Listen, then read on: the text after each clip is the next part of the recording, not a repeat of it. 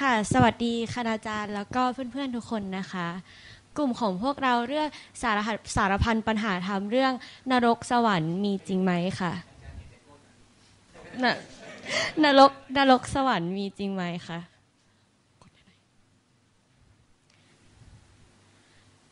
ค่ะ ซึ่งเหตุผลที่เราเลือกสารพันปัญหาธรรมนี้นะคะ ก็เพราะว่า ในโลกของเราเนี่ยมีผู้คนมากมายมาจากหลากหลายแหล่งกำเนิดค่ะ มีหลากหลายความคิด ซึ่งการที่มีผู้คนมากมายหลากหลายความคิดเนี่ยก็ทำให้เกิดความเชื่อที่หลากหลายตามไปด้วย ซึ่งความเชื่อในเรื่องของนรกกับสวรรค์เนี่ยก็มีทางด้านของทางวิทยาศาสตร์ แล้วก็ทางพระพุทธศาสนาค่ะ ซึ่งแต่ละคนเนี่ยก็คิดเห็นแตกต่างกันออกไป อย่างที่กลุ่มเมื่อกี้ก็มีเพื่อนถามว่านรกสวรรค์เนี่ย อะไรยังไงค่ะ ซึ่งกลุ่มของพวกเราเนี่ยก็มีข้อสงสัยเกี่ยวกับนรกสวรรค์เช่นกันว่ามีจริงไหม ซึ่งวันนี้เราก็จะมาไขข้อสงสัยนั้นกันค่ะ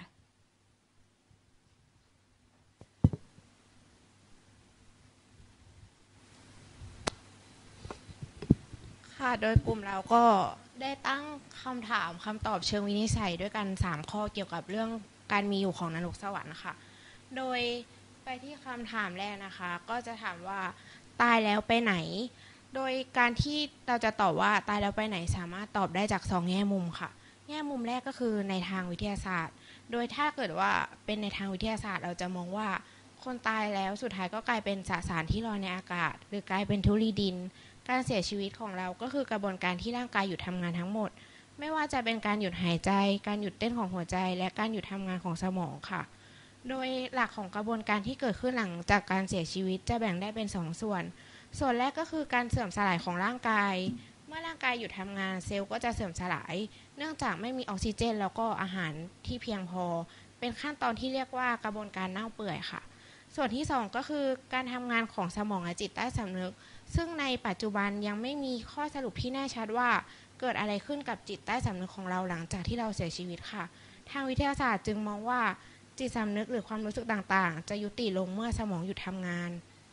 โดยรวมแล้ววิทยาศาสตร์จะเน้นการอธิบายกระบวนการทำงานทางปฏิกิริยาทางกายภาพหลังเสียชีวิตค่ะ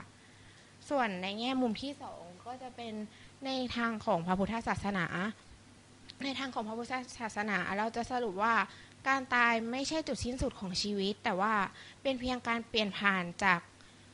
ภพภูมิปัจจุบันไปอีกภพภูมิใหม่ เนื่องจากคำสอนของ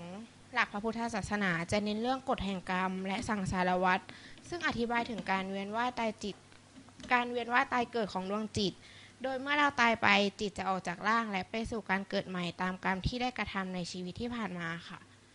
โดยจะขออธิบายคำว่าภพภูมิเพิ่มเติมนะคะ ซึ่งคำว่าภพภูมิมีความหมายถึงโลกหรือสถานที่อันเป็นที่อาศัยอยู่ของสรรพสัตว์ผู้ที่ยังมีกิเลสยังไม่เข้าสู่นิพพาน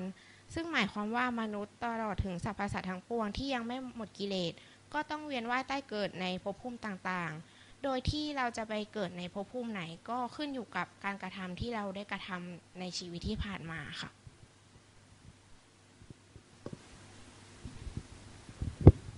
ครับกับคำถามต่อไปนะครับ ที่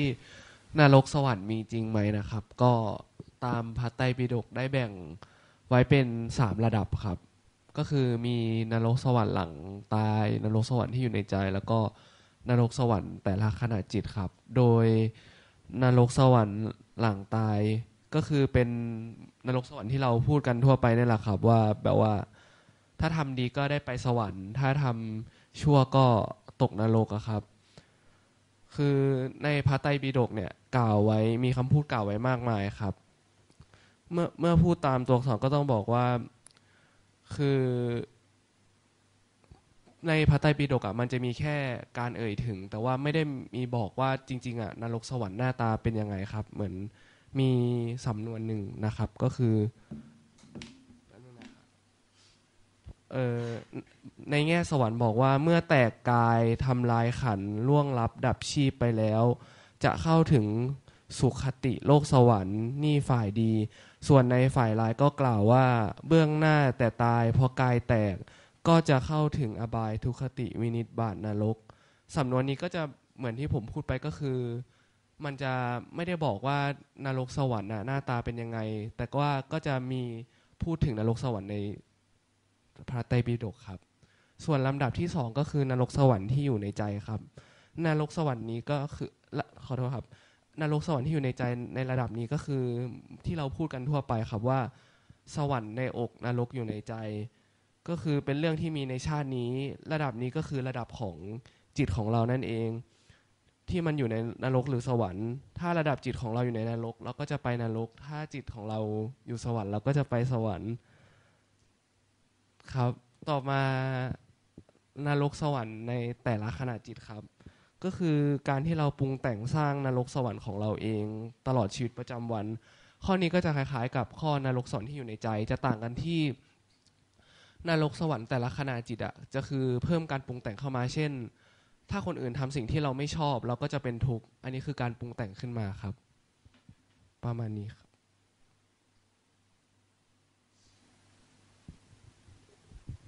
ต่อไปคือนรกสวรรค์ในแต่ละศาสนานะคะ อย่างตอนที่กลุ่มที่แล้วนำเสนอก็มีเพื่อนได้ถามว่าทำบาปในศาสนานี้กับศาสนานี้แตกต่างกันไหมแล้วนรกหน้าตาเหมือนกันไหมวันนี้เราก็อาจจะมาไขข้อสงสัยได้บ้างนิดหน่อยค่ะ ก็คือเริ่มต้นเลยนะคะ ศาสนาพุทธก็คืออย่างที่บอกว่าทำดีได้ดีทำชั่วได้ชั่วค่ะ คนที่ทำดีประพฤติแต่ความดีก็จะ ก็เราจะเชื่อว่าเราจะได้ขึ้นไปสวรรค์ค่ะ แต่ว่าจริง ๆ แล้วสวรรค์มันไม่ได้เป็นที่สิ้นสุดของคนที่นับถือศาสนาพุทธ เพราะว่าศาสนาพุทธเชื่อว่านิพพานคือที่สิ้นสุดค่ะ ส่วนนรกก็เป็นสถานที่สำหรับผู้ที่ทำกรรมชั่วค่ะ แล้วก็มีการลงโทษตามกรรมที่ทำแต่ว่าก็ไม่ถาวรเช่นกัน เพราะว่าเราสามารถกลับมาเวียนว่ายตายเกิดได้ใหม่ค่ะแล้วก็อย่างที่เห็นนะคะในประเพณีของพวกภาพวาดตามฝาผนังในโบสถ์ในวัดต่างๆ ก็จะมีรูปภาพ จิตกรรมแสดงให้เห็นถึงนรกสวรรค์ในภาพของคนที่นับถือศาสนาพุทธค่ะ ต่อมานะคะศาสนาคิด เชื่อว่าสวรรค์เป็นสถานที่ที่มีความสุขถาวรสำหรับผู้ที่เชื่อในพระเจ้าค่ะ แล้วก็ทำดี ส่วนนรกเนี่ยเป็นสถานที่ลงโทษสำหรับผู้ที่ปฏิเสธพระเจ้าหรือว่าขัดต่อพระเจ้าแล้วก็มีการทำบาปค่ะ โดยมีการอธิบายว่านรกในคิดทศาสนาเนี่ยคือจะมีความเจ็บปวดไม่มีที่สิ้นสุดค่ะ ต่อมาในศาสนาอิสลามนะคะ สวรรค์ในศาสนาอิสลามคือจันนาตค่ะ เป็นสถานที่ของความสุขที่พระอัลลอฮ์สำหรับผู้ที่กระทำความดีค่ะ ส่วนนรกของศาสนาอิสลามเรียกว่านาค่ะ เป็นสถานที่ลงโทษสำหรับผู้ที่ทำบาปและปฏิเสธพระเจ้าค่ะ ศาสนาสุดท้ายที่เรายกตัวอย่างมานะคะ คือศาสนาฮินดูค่ะ คล้ายกับศาสนาพุทธคือความเชื่อเรื่อง สวรรค์จะเป็นผลจาก การทำดีแล้วก็นรกเป็นผลจากการทำชั่วนะคะ โดยเชื่อว่าผู้คนเนี่ยอาจจะต้องผ่านหลายภพหลายชาติจนกว่าจะหลุดพ้นจากนรกสวรรค์ค่ะ ซึ่งในแต่ละศาสนาเนี่ยมันก็จะสะท้อนค่านิยม วัฒนธรรม ประเพณีความเชื่อของคนที่นับถือศาสนานั้น ซึ่งจริง ๆ แล้วเรื่องนรกสวรรค์เนี่ยเป็นเรื่องที่ยังไม่มีใครพิสูจน์ได้ หรือว่าอาจจะพิสูจน์ไม่ได้นั่นเองค่ะ เพราะว่าเราเองไม่มีความสามารถ ที่จะพิสูจน์มัน เพราะว่ามันเป็นสิ่งที่พิสูจน์ด้วยหู ตาจมูกลิ้นกายไม่ได้ อาจจะต้องพิสูจน์ด้วยชีวิตจิตใจ ก็คือเราอะถือว่าจิตเป็นแกนของชีวิตที่ทำหน้าที่เกิด แล้วก็เลยมีคนกล่าวว่าการพิสูจน์เรื่องนรกสวรรค์มีจริงไหมตายแล้วเราไปไหน อาจจะมีวิธีวิธีเดียวก็คือลองตายดูค่ะ ต่อไปนะครับเป็น ประโยชน์จากการที่เราทำปัญหาทำนะครับ อย่างแรกนะครับ คือการกระตุ้นการตั้งคำถามและพัฒนาปัญญาครับ ก็คือการที่เราสงสัยตั้งคำถามเกี่ยวกับเรื่องนี้มันก็จะเป็นการที่ฝึกให้เราในการค้นคว้าข้อมูล แล้วก็พัฒนาปัญญาไปด้วยนะครับ แล้วก็อย่างที่สองนะครับปลูกฝังจริยธรรมและมีสติในชีวิตประจำวันครับ ความเชื่อในนรกสวรรค์นะครับ มีทธิพลต่อจิตใจของคนนะครับ ในแง่การคิดและการกระทำครับ การตระหนักถึงผลกรรมของตนทำให้คนเราระมัดระวังในการทำดี และหลีกเลี่ยงการทำชั่วได้ดีขึ้นครับ และอย่างสุดท้ายครับ การเข้าใจธรรมชาตินะครับ ก็นรกสวรรค์มันก็เป็นการพิจารณานรกสวรรค์นะครับ เป็นการตอกย้ำเรื่องของทุกข์และสุขในพระพุทธศาสนาครับ ซึ่งช่วยให้ผู้คนเข้าใจทุกสุขที่เกิดขึ้นนั้นเป็นผลจากการกระทำและการพ้นทุกข์จริง ๆ คือการไม่ยึดติดในนรกหรือสวรรค์ครับ แต่หาแต่หาทางสู่การหลุดพ้น ทุกการกระทำมีผลตามมา ซึ่งอาจจะเป็นทุกข์หรือสุขก็ได้ ถ้าเราเข้าใจว่าทุกข์หรือสุขเป็นผลของการกระทำเนี่ยก็จะช่วยให้เราไม่ยึดติดสิ่งที่เกิดขึ้น และถ้าทำดีเราได้ผลดี เราก็จะไม่หลงไปกับมัน ถ้าทำพลาดแล้วเจอปัญหาเราก็จะไไม่ทุกข์นานครับ ขอบคุณครับ ต่อไปเป็นคำถามนะครับ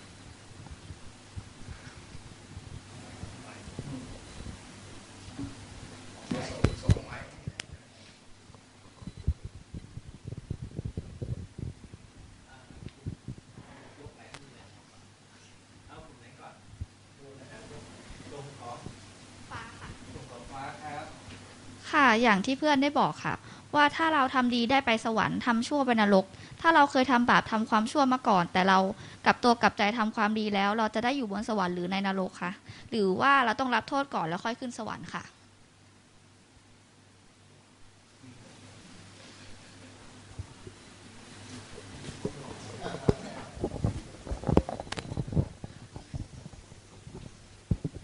มี คนเคยบอกไว้นะคะว่าการทำความชั่วแล้วมาทำความดีเนี่ยมันไม่สามารถหักล้างกันได้ค่ะ ความดีกรรมดีก็คือกรรมดีค่ะ กรรมชั่วก็คือกรรมชั่ว ไม่ใช่ว่าเราทำชั่วแล้วพอมาทำดี มันจะหักล้างให้ความชั่วนั้นเหลือศูนย์ค่ะเออส่วนตัวแล้วเชื่อว่าถ้ากระทำความชั่วเราอาจจะได้รับผลกรรม ชั่วไม่ช้าก็เร็วค่ะ อาจจะอยู่ในชีวิตประจำวันของเราเหมือน เหมือนเวลาเราคิดไม่ดี ในที่สุดเราจะได้ผลที่ไม่ดีอะค่ะ แต่ว่าถ้าในส่วนของแบบถ้าจะตกนรกหรือสวรรค์อะไรอย่างเงี้ยก็ไม่สามารถรับรู้ได้เหมือนกันค่ะว่าเออเขานับจำนวนความดีความชั่วกันยังไง เพราะว่าแต่ว่าถ้าเกิดว่าเป็นกรรมที่แสดงให้เห็นได้ในชีวิตที่เรายังมีชีวิตอยู่ มันก็จะถ้าเราทำดีก็จะได้ดีเลย ในตอนนั้นถ้าทำชั่วก็ได้ชั่วเลย มันไม่สามารถหักล้างกันได้ค่ะ จากกลุ่มเนสนะคะ ก็คือแบบในสังคมปัจจุบันนะคะ คิดว่าความเชื่อเรื่องนรกสวรรค์มีผลมากน้อยแค่ไหนคะ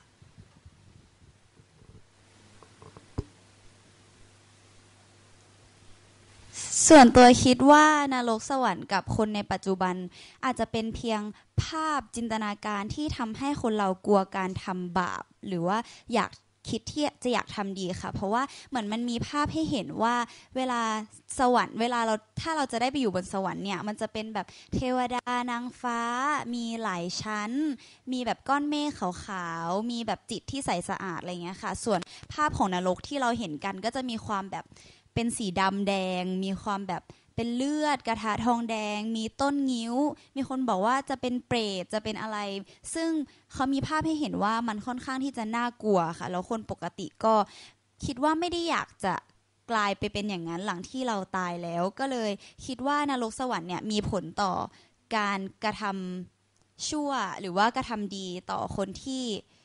เออ ต่อคนในปัจจุบันค่ะ เพราะว่าเราเห็นภาพแบบเรามโนจิตไปด้วยว่านรกสวรรค์หน้าตาเป็นยังไงค่ะ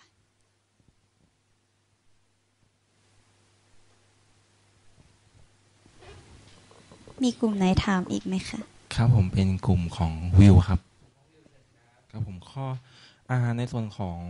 คนเราตายแล้วไปไหนซึ่งจะมีสองแง่คิดนะครับ เป็นในส่วนของวิทยาศาสตร์กับพระพุทธศาสนาเนาะ ผมอยากทราบว่าเราควรเชื่อแบบไหนดีครับ เพื่อที่จะเหมาะสมกับชีวิตเราคือส่วนตัวมีความสับสนใน ตรงนี้เราควรเชื่อทั้งสองทางเลยไหมหรือแบบเอ้ยเราจะไปทางใดทางหนึ่งเพื่อที่จะปฏิบัติในชีวิตประจำวันของเราใช่ครับขอบคุณครับ ส่วนตัวคิดว่าน่าจะขึ้นอยู่กับความเชื่อของเราตั้งแต่เริ่มอะค่ะ ถ้าสมมติว่าเรานับถือศาสนาพุทธเราก็อาจจะมีความเชื่อว่าแบบ ถ้าเราทำไม่ดี เราก็จะไปอยู่ในภพภูมิที่ไม่ดี หรือว่าถ้าเราทำดีเราก็จะแบบได้ไปอยู่ในภพภูมิที่ดีไปเป็นเทวดา แต่ว่า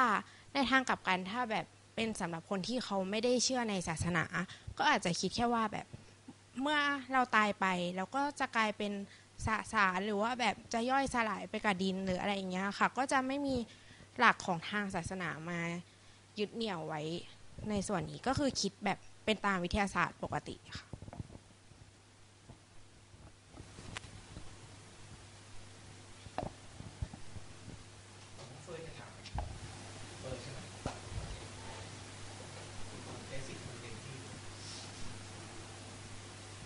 คิดว่าคิดว่าการที่เอ่อสังคมหนึ่งไม่เชื่อการมีอยู่ของสวรรค์กับนรกครับ คิดว่าการทำความดีกับการทำบาปมันยังมีผลต่อการใช้ชีวิตอยู่อยู่ไหมฮะ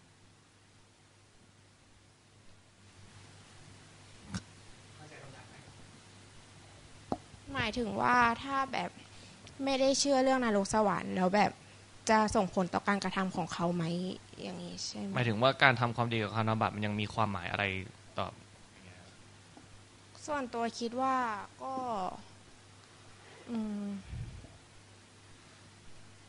คือก็อาจจะไม่ได้แบบมีผลต่อการกระทำในแง่ว่าแบบคิดว่าทำแล้วจะบาปหรือว่าได้บุญแต่ว่า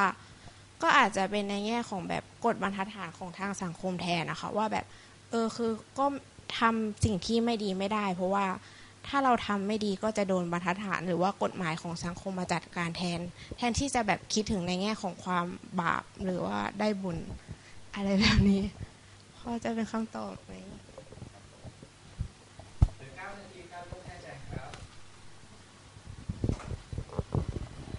เรื่องนี้เนี่ย ต้องต้องอย่างนี้ว่า มันต้องไม่ใช่ว่า เพราะเราเชื่อ หรือเราไม่เชื่อนะ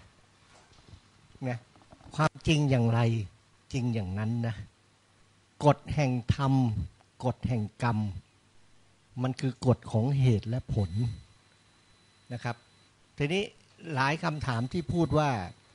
เเรื่องภพภูมิ เรื่องนรกสวรรค์เนี่ยนะก็แล้วแต่ความเชื่อ ซึ่งที่จริง ระดับความเชื่อกับความจริงคนละอย่าง ต้องเข้าใจก่อนนะ พระพุทธเจ้าไม่ใช่เป็นผู้ที่ไปบัญญัติภพภูมินะ ต้องเข้าใจก่อนภพภูมิดำรงอยู่จริง มีอยู่จริง เกิดจากอะไร เกิดจากกรรมและการกระทำของสัตวโลกทั้งมวลนะสัตวโลกทั้งมวลเป็นผู้ไปสร้างความเป็นภพภูมิขึ้นมานะด้วยความมีตัวตน ด้วยความยึดมั่นถือมั่นของตัวเองต่างหาก จึงเกิดความเป็นภพภูมิ เพราะฉะนั้นในระดับจิต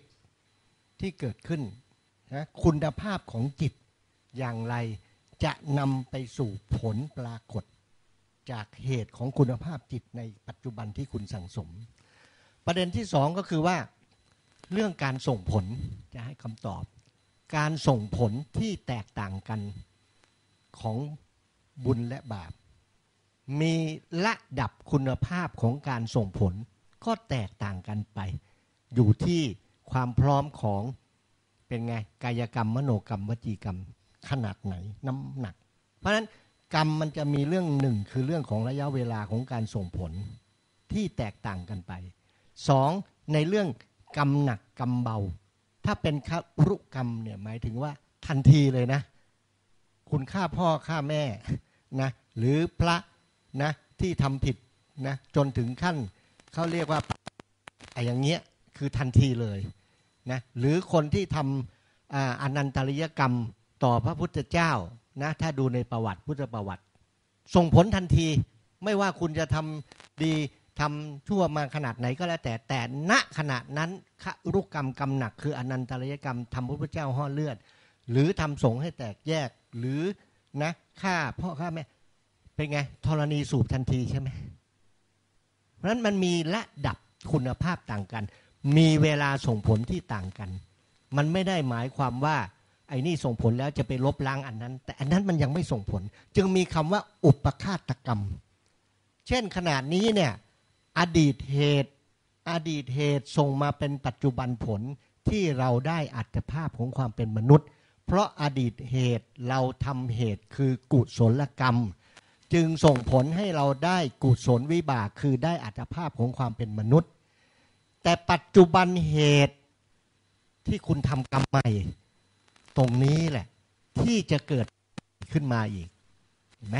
ต้องมองตรงนี้ให้เห็นนะ เพราะฉะนั้นสมมุติบัญญัติกับสภาวะปรมัตต้องเข้าใจว่า วันนี้มีถ้าบอกว่าวันนี้มี เมื่อวานมี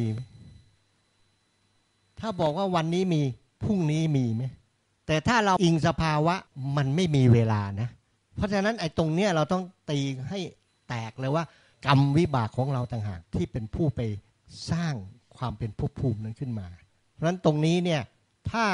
อยากจะเห็นสิ่งเหล่านี้ก็ต้องมีระดับจิตที่มีคุณภาพถ้าถามว่าตารางคุกในเมืองไทยกับคุกในตะวันออกกลาง มันมีเปล่ามีไหมคุกเนี่ย ก็ต้องยอมรับความจริงว่ามันมี แต่คุกมันต่างกันไหมของแต่ละประเทศต่างใช่ไหมเนี่ยคือการปรุงแต่งที่แตกต่างกัน แต่ถามว่าโดยสภาวะปรมัตมันดำรงอยู่ไหมมันดำรงอยู่ โดยความที่เรายังมีความเป็นตัวตนความยึดมั่นถือมั่นที่เมื่อกี้พูดถึงอุปทานเนี่ยเป็นตัวสร้างภพชาติ เป็นตัวสร้างภพภูมิ แต่ถ้านิพพานแล้วเนี่ยสิ้นภพสิ้นชาติได้นี่ในหลักของพุทธศาสนา เพราะมันไม่มีความเป็นตัวตน เพราะมันจึงไม่มี วิบากที่จะต้องไปรับผลอะไรอีกแล้ว นี่คือตรงนี้คือต่างอะเพราะนั้นพุทธศาสนาจึงว่าต้องให้พ้นทั้งดีและชั่วให้ได้ ถ้าตราบใดที่ยังอยู่ในดีและชั่วก็ยังอยู่ในวังวนของวัฏทุงสารเห็นไหมเพราะนั้นจะบอกว่ามีไม่มีก็ต้องพูดด้วยว่าเหตุปัจจัยอะไร เงื่อนไขอะไร นี่คือประเด็นที่อยากจะให้ให้ทำความเข้าใจให้ชัดครับ อาจารย์ผมก็มาย้ำเรื่องประเด็นอีกแหละนะ ว่าเราหลงประเด็นหรือเปล่า แล้วอย่างที่ตะกี้น้องถามถึงเรื่องว่าอะไรนะไม่มีศาสนาหรือว่าไม่ไม่เชื่อว่ามีอย่างนั้นอย่างนั้นนะแล้วเราทำบุญทำชั่วอะไรอย่างเงี้ยแล้วมันมีจริงหรือเปล่า อะไรนรกอย่างนี้มีจริง ๆ ก็ถ้าถ้าตะกี้น้องจับหลักที่ผมพูดว่าจิตมีไหมล่ะ เราไม่ต้องไปนั่งว่านับถืออะไรหรอกถ้าจิตมีจิตเป็นธรรมชาติที่รับรู้ความรู้สึกทุกอย่างได้ เมื่อคุณทำไม่ดี ตัวจิตอะเต็มตัวรับรู้เองนะทีนี้อันนี้ที่ทางทางนี้ก็บอกถึงว่าอะเราตายแล้วไปไหนอย่างงู้นอย่างนี้ หรือว่านิพพานแล้วไม่ต้องมากลับมาเกิดอีกอะไรเงี้ยเอ่ออะผมก็จะขมวดย่อๆให้ฟังแล้วก็ด้วยเวลาที่จำกัดนะ จริง ๆแล้วเนี่ยเราต้องอย่าหลงประเด็นนะพระพุทธองค์สอนว่าถ้าใครไปเชื่อว่าตายแล้วศูนย์ คือว่าไม่มีอะไรเหลือหลอนเลย โบเบ๋หมดเลย ก็บอกว่าความเชื่อแบบนี้หรือความเห็นแบบนี้เป็นอุเฉททิฏฐิใช้ไม่ได้เป็นมิจฉา แต่ถ้าใครเชื่อว่ามันมีวิญญาณตนหนึ่ง ซึ่งเป็นอมตะไม่ตาย ตายแล้วก็เที่ยวไปแสวงหาที่เกิดใหม่ ถ้าทำดีก็ไปเกิดในที่ดีทำไม่ดีก็ไปเกิดในที่ไม่ดีนะตัวนั้นเอาวนเวียนอยู่เรื่อยนะ พบชาติแล้วพบชาติเล่าไม่มีวันตาย พระพุทธองค์ก็บอกว่าความเห็นแบบนี้เป็นสัตสัตตทิฏฐิใช้ไม่ได้มิฉาอีกเหมือนกัน ไม่ไม่ถูกต้องทั้งสองอย่างนะฮะเพราะไอ้ตรงเนี้ยเราอย่าหลงประเด็นนะแล้วมันก็จะมาตอบคำถามว่าบางที่บอกว่า เอ๊ะ แล้วถ้าเราตายไปแล้วจะต้องไปรับบาปก่อนไหม เพราะว่าเรามีทำทั้งบาปและทำดีใช่ไหม ต้องไปรับบาปก่อนไหมแล้วถึงจะไปเสกสุขบนสวรรค์หรืออะไรเงี้ย ก็เท่ากับเราเราจับประเด็นพวกนี้ไม่ถูกต้องนะเราต้องเข้าใจว่าเรื่องของคลื่นพลังงาน และอีกอย่างหนึ่งเวลาคุณศึกษาพระพุทธศาสนาต้องศึกษาให้ดีๆนะแม้กระทั่งที่เขาบอกว่ากรรมเป็นของเที่ยงแท้ ใครทำกรรมใดไว้ก็ต้องรับผลแห่งกรรมนั้น ขอถามหน่อยว่า แล้วองคุลิมาน ฆ่าคน 999 คน วิญญาณของคนที่ 999 คนจะมาตามล้างตามตามผานองคุลิมาน แล้วทำไมองคุลิมานสำเร็จเป็นพระอรหันต์เอาช่วยตอบหน่อยสิพระนางมัลลิกาซึ่งเป็นพระมเหสีของพระเจ้าประเสนที่โกศลทำนุบำรุงพระพุทธศาสนาดีอย่างโอ้โห เลี้ยงพระทุกวันนะวันละตั้งหลายร้อยองค์ นะทำนุบำรุงมาตลอด แต่ทำไมตายไปแล้วตกนรกเนี่ยคือเราจับประเด็นพวกนี้ไม่เป็นอะพอเราจับประเด็นพวกนี้ไม่เป็นงงเลยแล้วทำไมพระพุทธเจ้าบอกว่า เกิดเป็นมนุษย์นะถ้าทำไม่ดีตายไปเกิดเป็นสัตว์เดรัจฉานได้เอาแล้วทำไมสัตว์เดรัจฉานกลับมาเกิดเป็นมนุษย์ได้อะทั้งที่มันก็อย่างพวกเสือสิงโตมันฆ่าสัตว์ทุกวันนะเพ ราะเสือสิงโตเนี่ยมันจะต้องกินอาหารสดๆนะเขาไม่กินอาหารที่มันตายแล้วเน่าเปื่อยนะไม่มีเขาจะจับสดๆกินสดๆเอาถ้าอย่างนี้ไอเสือสิงโตมันก็กลับมาเกิดเป็นมนุษย์ไม่ได้สิอย่างนี้คำสอนของพระพุทธเจ้าก็เท็จสิบอกว่าสัตว์ก็เกิดเป็นมนุษย์ได้ เนี่ยคือของพวกนี้เราจับประเด็นไม่เป็นยังไงพอเราจับประเด็นไม่เป็นเนี่ยเราก็เลยเป็นแหว่งแหว่งแหว่งแหว่งเชื่อไปคนละอย่างคนละอย่างนะนะ แล้วถ้าเราจับหลักเรื่องของวิทยาศาสตร์ดีกว่า เพราะต่อไปไอ้วิทยาศาสตร์จะเจริญมาก วิทยาศาสตร์เนี่ยนะเขาก็บอกแล้วว่ามีมีใครเรียนเรื่องของเอ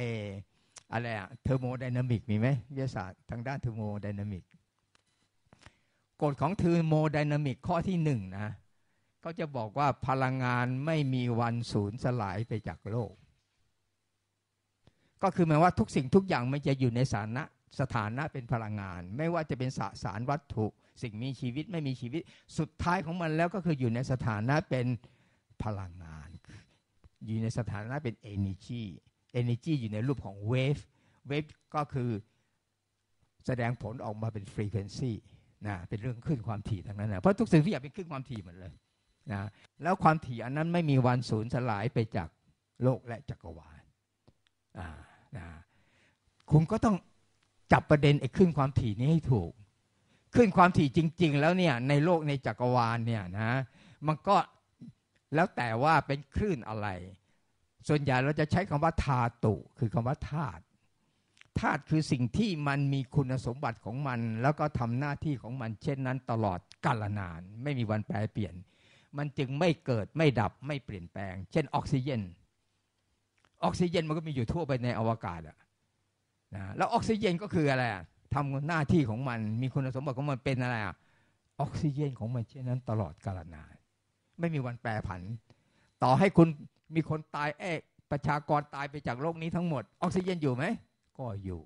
ต่อให้โลกเราใบนี้ระเบิดปุ้งเลย ก็เป็นจุนไปเลย ออกซิเจนอยู่ไหมก็อยู่ใช่ไหมเพราะคลื่นพลังงานอย่างนี้อยู่ เพราะออกซิเจนก็ดำรงอยู่ในสถานะเป็นคลื่นพลังงานเช่นกัน นะเพราะฉะนั้นมันจึงมีธาตุธาตุหนึ่งที่ในทางพุทธศาสนาก็ยอมรับคือธาตุรู้ธาตุรู้เนี่ยเป็นธาตุถ้าเราเปรียบเทียบเหมือนกับออกซิเจนมันก็ทำหน้าที่แค่รู้แล้วจบรู้แล้วจบไม่มีปรุง ไม่มีแต่งไม่ไปตัดสินมันไม่ไปเป็นอะไรกับมันอะไรทั้งสิ้น แต่ทำหน้าที่รู้ ตัวธาตุรู้นี่แหละคือตัวไม่จบนะเพราะฉะนั้นผู้ที่เสด็จดับขันปรินิพาน เพียงแต่เขาไม่มีขันห้าเขาสามารถดับรูปเวทนาสัญญาสังขารวิญญาณ ก็คือวิญญาณก็คือตัวรู้ในขันห้านี่แหละก็ต้องดับให้ได้นะ ถ้าวิญญาณรู้ในขันห้าดับไม่ได้ มันก็นำพาให้ไปสู่การเวียนว่ายตายเกิดเพราะฉะนั้นทุกวันนี้คุณหลงอยู่แก่ไอ้ตัววิญญาณรู้นี่แหละ แล้ววิญญาณรู้ตัวนี้มันเป็นสังคตะธรรมก็คือเป็นเป็นสิ่งปรุงแต่ง วิญญาณรู้มันจะทำหน้าที่ของมันได้ต่อเมื่ออิงอาศัยร่างกายก็คือรูป อิงอาศัยเวทนา อิงอาศัยสัญญา อิงอาศัยสังขารนะวิญญาณมันถึงจะรับรู้ได้ในขันห้าถ้าปราศจากสี่ตัวที่เป็นแฟกเตอร์สี่ตัวแรก วิญญาณรู้จะไม่มีความหมายเลยทำหน้าที่อะไรไม่ได้เลย ต่างกับธาตุรู้ในธรรมชาติ แกจะมีขันห้าไม่มีขันห้าธาตุรู้มันก็เหมือนออกซิเจนมันก็กระจายอยู่ในทุกอนูของอะไรของอากาศเป็นของมันเช่นนั้นตลอดกาลนาน ถ้าไม่มีธาตุรู้นะซึ่งมันอยู่ในอวกาศอยู่ในสเปซ ทั่ว ร่างกายของคุณนี่เต็มไปด้วยสเปซนะเต็มไปด้วยอวกาศหมดนะตัววิญญาณรู้ก็ทำหน้าที่ไม่ได้ วิญญาณรู้จะทำหน้าที่ได้ต้องมีตัวธาตุรู้ ซึ่งอยู่ในทุกอนูของสเปซในร่างกายเราเนี่ยนะก็ถึงจะทำงานได้ ถ้าคุณแยกแยะพวกนี้ออกก็จะเห็นว่าที่เราคุยกันเรื่องสวรรค์นรกเรื่องนู้นเรื่องเนี่ยมันเรื่องของขันห้าทั้งสิ้นนะถ้าเกิดคุณพ้นขันห้าได้ ก็จะเข้าสู่สภาวะที่มันไม่มีขันห้า แต่ธาตุรู้ตัวเดียวนะเมื่อมันเป็นสภาวะที่ไม่มีขันห้าไอ้พวกวิญญาณทั้งหลายแหล่ซึ่งมันจะตามเอาคืนอย่าง 999 คนเนี่ยที่องคุริมาไปฆ่าเขาเนี่ยตามล้างตามผ่าน มันหาขันห้าขององคุริมานไม่ได้ แล้วมันจะไปตามล้างตามผ่านได้ไง เพราะองคุริมานสลัดอะไรอะขันห้านะคือสลัดขึ้นความถี่ทั้งหลายแหล่ของรูปเวทนาสัญญาทั้งขานวิญญาณได้แล้ว เหลือแต่ขึ้นความถี่ที่เป็นธาตุรู้อย่างเดียว นะรู้ทุกอย่างแต่ไม่เป็นอะไรกับมันสักอย่างนะเพราะฉะนั้นที่เราถกกันเนี่ยก็คือเราไปหลงอยู่ในตัวขันนะพระพุทธองค์ถึงได้บอกว่าไอ้ขันเนี่ยนำมาซึ่งทุกข์เขาถึงให้ดับขันนั่นไง ดับขันก็คือไม่ให้มีขันพอดับขันแล้วมันถึงจะปรินิพานได้ไง ถ้าไม่ดับขันปรินิพานไม่ได้ ขันนี้ก็เป็นตัวพานำเกิดไปสู่ภพภูมิใหม่ ๆ อะไรของเขาตลอดกาลนานนะ ทีนี้เนื่องจากเวลาจำกัดหมดเวลาไปนานแล้วนะก็เลยว่าเอาแค่ย่อๆตรงนี้ก่อนนะ ว่าทุกสิ่งทุกอย่างเนี่ยถ้าเราไม่อยากมีทุกข์นะก็ต้องดับขันทะตัวนี้ให้ได้ ถ้าดับขันไม่ได้ ก็จงยอมรับความจริงว่ายังมีทุกข์ไปตลอดกาลนาน เอากันแค่อย่างนี้ก่อนครับขอบคุณครับ